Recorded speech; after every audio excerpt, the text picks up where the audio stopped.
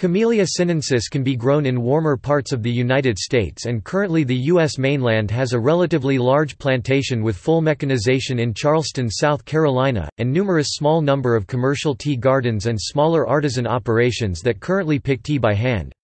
Many smaller sites are looking to mechanize, at least partially, within the next five years. Some growers feel that tea production is not viable without some mechanization, but there is evidence that unmechanized tea production is viable, albeit with lower net profit margins. Most domestically grown teas are available through mail order and online purchases.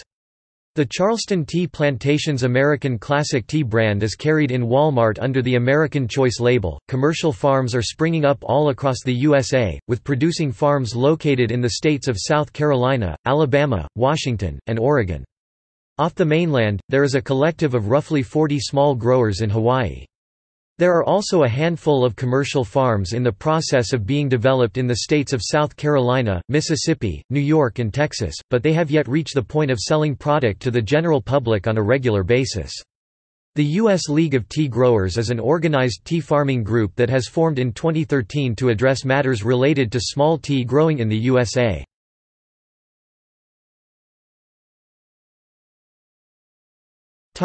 Statistics 2011 Source FAO Domestic supply. Equals production plus import export. Equals. Topic. Colonial Georgia. Equals Commercial tea cultivation in the Americas was first attempted in 1744 in colonial Georgia, when tea seeds were sent to the Trust Garden in Savannah. The first recorded successful cultivation of the tea plant in the colonies is recorded as growing on Skidaway Island near Savannah in 1772.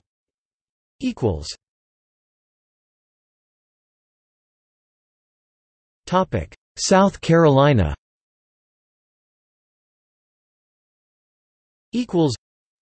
Junius Smith succeeded in growing tea commercially in Greenville, South Carolina, from 1848 until his death in 1853. Dr. Alexis Forster oversaw the next short-lived attempt in Georgetown, South Carolina, from 1874 until his death in 1879. In 1863, The New York Times reported the discovery of tea plants growing natively in western Maryland and Pennsylvania. The New York Times report of natively growing tea plants sparked an interest in cultivating the plants commercially. In 1880 the U.S. government hired John Jackson, an experienced tea planter in India, to cultivate tea plants planted 30 years earlier in Liberty County, Georgia. When this proved unsuccessful, some 200 acres of land near Summerville, South Carolina were leased for an experimental station, using seeds from China, India, and Japan. A change of commissioners in 1884 resulted in a report faulting the climate as unsuitable, and the Newington plantation near Summerville was abandoned. Congress later appropriated $10,000 for a second experimental tea farm in the Summerville area, called the Pinehurst Plantation, located just one mile from the previously terminated effort, and received Patent Office permission to experiment with plants left at the older government station. Under the leadership of Dr. Charles Shepard, Newington Plantation became quite productive, and 1887 New York Times report credited annual production at 12,000 pounds. By 1893, the Pinehurst plants were sufficiently established for the first leaf plucking. Dr. Shepard secured laborers for the fields by opening a school and making tea picking part of its curriculum, essentially ensuring a force of child labor while providing them with an education they might not otherwise obtain. Dr. Shepard's final report indicated the chief expense in the production of tea was the gathering of the leaf, which amounted to approximately 50% of labor costs, but this did not preclude the profitable production of the crop even when sold at prices as low as half the cost of imported leaf. However, domestic shipping rates made selling his tea to major markets in the U.S. difficult. These made it cheaper for Chicagoans, for example, to buy tea from China than from Carolina. Nevertheless, the Pinehurst produced award-winning teas until Dr. Shepard's death in 1915. The garden closed after Shepard's death and Pinehurst lay unattended until 1963. In 1963, the Lipton Tea Company, worried about the instability of the Third World countries that produce tea, paid to have the surviving tea plants at Pinehurst moved to a former potato farm on Wadmalaw Island. Lipton operated an experimental tea farm until it was sold in 1987 to Mac Fleming and Bill Hall, who converted the experimental farm into a working tea garden. The Charleston Tea Plantation utilized a converted tobacco harvester to mechanically harvest the tea. The Charleston Tea Plantation sold tea mail order known as American Classic Tea and also produced Sam's Choice Instant Tea, sold through Sam's Clubs. American Classic Tea has been the official tea of the White House since 1987. Losing money and nearly bankrupt, in 2003 the plantation was sold to Bigelow Tea Company at a court auction for $1.28 million and was temporarily closed for renovation in order to attract tourists and boost its revenues. The garden reopened in January 2006 and gives free tours to the public. Like most plantations, each tea plant at the Charleston Tea Plantation comes from a clone rather than a seed to keep plant characteristics controlled. In this factory, black, oolong, and green tea is made. Active harvesting takes place between May and October. The hybrid cotton picker – tobacco harvester modified by Fleming is used to harvest from the upper parts of the plants without injuring them, but cannot do so with the precision of hand picking, necessary for the highest grades of tea. Inside the factory, leaves are placed on a withering bed for 12 to 18 hours. Natural air blows over the leaves to reduce the moisture from 80% to 68%.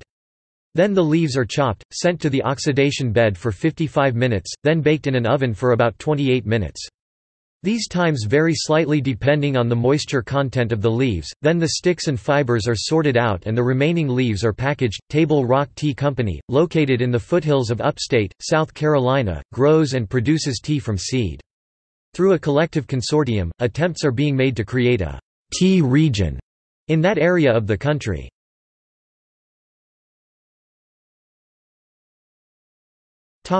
Alabama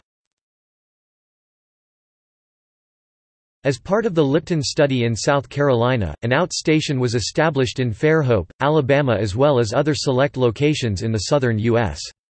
The material in Fairhope was destroyed by a hurricane not long after its inception and was abandoned. However, the outstation supervisor rescued a few seeds and cuttings which were used to start a private plantation nearby now known as the Fairhope Tea Plantation, owned by Donnie Barrett, the son of the outstation supervisor. Tea is still produced at the plantation in small quantities, sold through a nearby gift shop. Hawaii Tea was introduced in Hawaii in 1887 and was commercially grown until 1892. While it is not clear why the tea was eventually discontinued, historians believe higher wages compared to other prime tea growing areas in Asia and Africa were among the deciding factors. Lower production costs of tea's main rival, coffee, also helped prevent it from establishing a foothold. In the 1960s, Lipton and A&B formed a joint venture to investigate the possibility of growing tea commercially in Hawaii. Both companies decided not to open gardens on the island, but rather to open gardens in Latin America. In 2000 horticulturist Francis Zee found a strain of Camellia sinensis, the tea plant, that can flourish in the tropical climate and volcanic soil of Hawaii.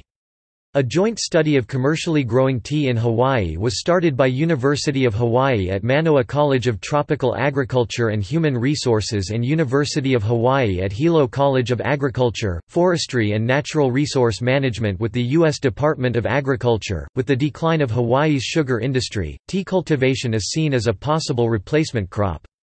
In 2003, Hawaii had an estimated 5 acres square meters of land producing tea but by 2005 that number jumped to roughly 80 acres 320,000 square meters. Tea production in Hawaii is expected to triple by 2008. In 2004, the Hawaii Tea Society was formed from about 40 members, many of whom had started backyard tea farms to promote tea grown in Hawaii.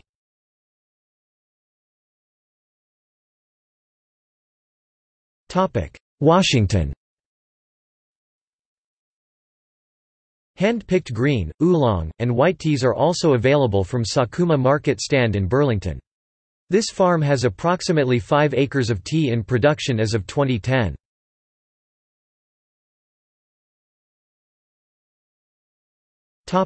Oregon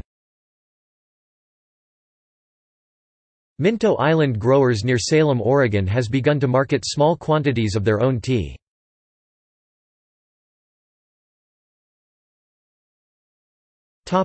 Tea farms in development Filoli Farms in Brookhaven, Mississippi has started tea cultivation and will be marketing soon.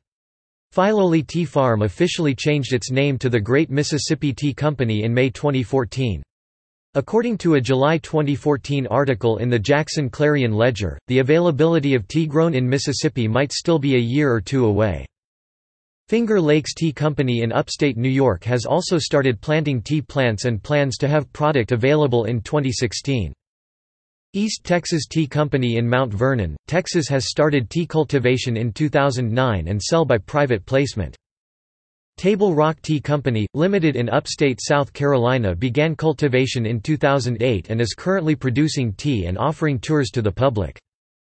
Atelier formerly East Texas Tea Company in Coeur d'Alene, Idaho commenced tea growing in 2015 and expanded in 2016 with Nepalese and Sochi seed stock. The microclimate being moderated by local glacial lakes with soil and water conditions being conducive to tea growing. It will be approximately two to four years for commercial quantities are expected to be available for private sale.